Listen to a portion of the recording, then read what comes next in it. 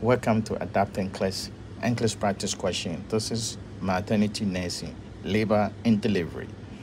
This is the question. A nurse is caring for a 30 weeks G1 P0 client with preterm labor.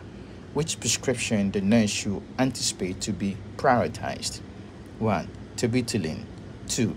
Beta medicine 3. Indomethacin 4. Methotrexate What do you think? If you're caring for this patient who is in preterm labor, she's 30 weeks old, which prescription you think is the best to give it to this patient? Which one will you prioritize? Take a look at it carefully. Pay attention to the weeks. 30 weeks is very, very important. And look at each medication. I know you know the answer. Show it to me. Put down in the in the comments and check back for right answer. Take care of yourself and good luck.